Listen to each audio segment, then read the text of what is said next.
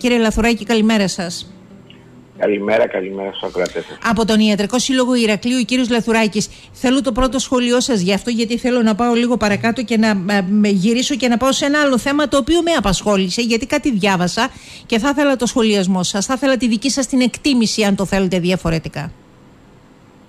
Ωραία. Προφανώς είναι μια ε, ενέργεια η οποία αυτή τη στιγμή υποστηρίζει ε, το κράτος μέσω του προγράμματος Δοξιάδης. Το συγκεκριμένο ονομάζεται φόφη γεννηματάη που αφορά τον προσυμπτωματικό έλεγχο του καρκίνου του μαστού που είναι σε μια θετική κατεύθυνση γιατί αφορά ένα μεγάλο αριθμό γυναικών οι οποίες θα δικαιούνται δωρεάν μαστογραφίες με πολύ εύκολο τρόπο ώστε να προχωρήσουμε σε αυτή την προληπτική διαδικασία που πιστεύουμε ότι θα σώσει πολλές γυναίκες από το καρκίνο του μαστού.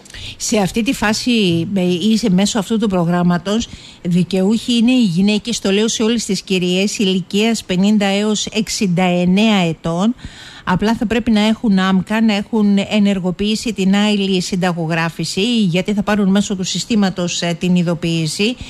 Αλλά υπάρχουν και κάποιες εξαιρέσεις. Είναι οι εξαιρέσεις εκείνες που αυτονόητο θεωρώ ότι είναι, κύριε Λαθουράκη, δηλαδή αν έχεις κάνει εξέταση μαστού κατά τη διάρκεια του προηγούμενου έτους. Έτσι. Ή αν έχεις νοσήσει που δεν το εύχεται κανένας αυτό από καρκίνο του μαστού την τελευταία πενταετία. Έτσι, έτσι είναι. Απλώς ε, και αν κάποια γυναίκα δεν έχει για κάποιο λόγο ενεργοποιήσει την άλλη συνταγογράφηση, μπορεί να απευθυνθεί στο γιατρό της, ο οποίος θα της εκδώσει το παραπεμπτικό και μέσω αυτού του παραπεμπτικού θα απευθυνθεί στις, ε, διάφορα, στα διάφορα κέντρα τα οποία εκτελούν την ψηφιακή μαστογραφία ώστε να κάνει την εξέταση αυτή δωρεάν μέσω του προγράμματος. Αυτό, αυτό που λέτε είναι ακόμα πιο σημαντικό, ότι αν εγώ στο κινητό μου τηλέφωνο είμαι μέσα σε αυτή την ηλικιακή ε, κατηγορία, δηλαδή 50-69, έχω άμκα, ε, έχω ενεργοποιήσει την άειλη συνταγογράφηση, δεν πάρω ειδοποίηση, ε, δεν μου έρθει στο κινητό μου τηλέφωνο ένα SMS, μπορώ να πάω στο γιατρό μου, εννοείται γυναικολόγο ή οπωσδήποτε, ή, ή μπορώ να πάω και σε κάποιο παθολόγο. Στο παθολόγο. Στο, παθολόγο. Ο, ε, ναι. ο οποίος θα μου συνταγογραφήσει ε, να κάνω αυτή τη μαστογραφία και να συμπεριληφθώ σε αυτό το πρόγραμμα λέτε; Βέβαια.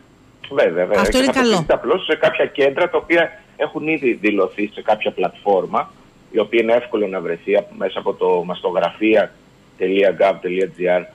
Οπότε μπορούμε να βρούμε ποια είναι τα συνεργαζόμενα κέντρα ένα περιοχή τα οποία θα μπορούν να κάνουν αυτές τις εξετάσεις δωρεάν και να απευθυνθούν εκεί να κλείσουν κάποιο ραντεβού.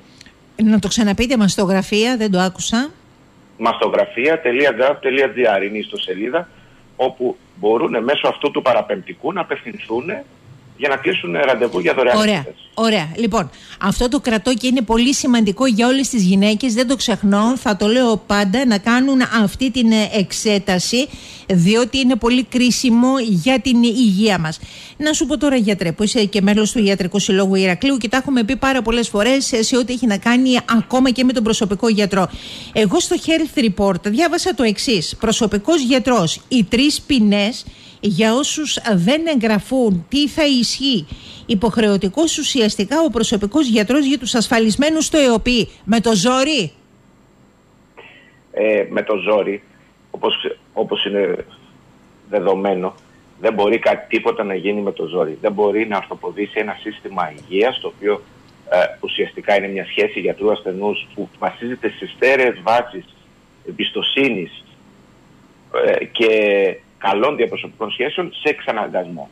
Δεν μπορούμε να βάλουμε δηλαδή κάποιον να τον αναγκάσουμε να μπει σε ένα σύστημα με τέτοιου είδους αντικίνητρα. Το, για να μπει κάποιος χρειάζεται κάποιο κίνητρο. Δεν μπορεί να τιμωρούμε κάποιον ο οποίος δεν θα εγγραφεί στο σύστημα και δεν θα εγγραφεί ο γιατρός του να πληρώνει μεγαλύτερη συμμετοχή από αυτή την οποία του ορίζει ο ασφαλιστικός του φορέας και τον οποίο έχει πληρώσει άλλωστε τι ασφαλιστικές τους φορές. Νομίζουμε ότι είναι κάτι το οποίο δεν θα πραγματοποιηθεί. Είναι μια διαρροή στον τύπο η οποία ελπίζουμε ότι είναι λάθος και δεν θα πραγματοποιηθεί. Ε, μα τώρα, εάν δεν προχωρήσω σε αυτή την κίνηση και δεν το πάω έτσι όπως το λένε προσωπικό γιατρό, να έχω και τις ποινές, δηλαδή, ε, συγγνώμη, αλλά ποιος είναι τότε ο λόγος που υπάρχει μια δημόσια φροντίδα, ε, δομή φροντίδα υγείας, ποιος είναι ο λόγος που μπορεί να υπάρχει ένα κέντρο υγείας, ποιος είναι ο λόγος που υπάρχει ένα τόμι, Δηλαδή, για ποιο λόγο γίνανε όλα αυτά και ξαφνικά θα βρεθώ μέσα σε αυτή τη διαδικασία και μάλιστα, ξέρετε, θα έχω και ποινές από την άλλη. Ναι, δηλαδή υπάρχει, δημιουργείται μια αναστάτωση χωρίς κανένα λόγο. Δεν μπορούμε να αφαιρέσουμε από κάποιον γιατρό ειδικότητας, παραδείγματος χάρη, ο οποίος δεν είναι ο προσωπικός μας γιατρός, αλλά μας παρακολουθεί χρόνια για τη στεφανία νόσου. Έχουμε περάσει ένα έμφραγμα να τον τιμωρούμε μέσω του ασθενή, ώστε να συντογραφεί με μεγαλύτερη συμμετοχή τόσο τις εξετάσεις όσο και τα φάρμακά του. Μακάρι. Γιατί αυτό είναι τιμωρία του ασθενούς. Μα α, αυτό λέω, με το ζόρι και αυτό είναι τιμωρία μου. Όταν εγώ διαβάζω σε αυτό που σας είπα στο Health Report το εξής, ότι δεν θα μπορώ να παραπεμφθώ σε νοσοκομείο. Συνεπώς θα πρέπει να επιλέγω ιδιωτικό νοσοκομείο για να αντιμετωπίσω τις ανάγκες, όπου μάλιστα δεν θα υπάρχει κάλυψη από τον νεοποιή. Λέει, μέσα στις ποινές, όσοι δεν έχουν προσωπικό γιατρό και δεν τον επιλέξουν. Είναι μια διαδικασία που ξεκινάει αυτό το μήνα, αν δεν κάνω λάθος, το δεύτερο 15 μέρο του Ιούνιου, κύριε Λαθουράκη; Ναι, έτσι πιστεύουμε μέχρι τις 15 του Ιούνιου να έχουν εξειδικευτεί όλες αυτές οι υπουργικές αποφάσεις για τον. Ε, ναι, οφείλει να ανοίξει τα χαρτιά ναι. του και οφείλει να ξεκαθαρίσει τα πράγματα ο Θάνος ο Πλεύρης, γιατί μας έχει αμπάριζα όλους και μετά στο τέλος εμείς θα πάρουμε τους υπόλοιπους ε, με τις πέτρες. Και βέβαια ξέρετε ότι θα την πληρώνετε εσείς ως γιατροί, γιατί εσάς ε, συναντάμε και το ξέρετε αυτό. Ε, δηλαδή, πο, πολλές φορές ε, είμαστε εριστικοί με αυτή την έννοια απέναντι σε ανθρώπους οι οποίοι δεν ευθύνονται για τις αποφάσεις άλλων. μέσα στις ποινές επίσης λέει θα πληρώνουν μεγαλύτερες συμμετοχές σε ιατρικές πράξεις και εξετάσεις, αλλά και σε φάρμακα. Το ακριβές ποσοστό θα ορίζεται στις υπουργικές αποφάσεις, αλλά όπως έχει δηλώσει η ηγεσία του Υπουργείου Υγείας, ειδικά για τα φάρμακα, θα είναι πιθανώς αυξημένο κατά 10%. Αλλά ναι, το πανί βρακί δεν βγαίνει και καλά θα κάνουν και οι βουλευτές που το ακούνε ή ασχολούνται με την υγεία, είναι γιατροί κλπ είτε είναι της ε, συμπολίτευσης, είτε είναι της αντιπολίτευσης, από όπου και αν προέρχονται, με 300 είναι μέσα στο κοινοβούλιο, να πάρουν θέση για να τελειώνουμε με αυτές τις ιστορίες και αυτά τα σενάρια και αυτές τις πληροφορίες γιατί τίποτα δεν διαρρέεται τυχαία κύριε Λαθουράκη θα μου επιτρέψετε να πω.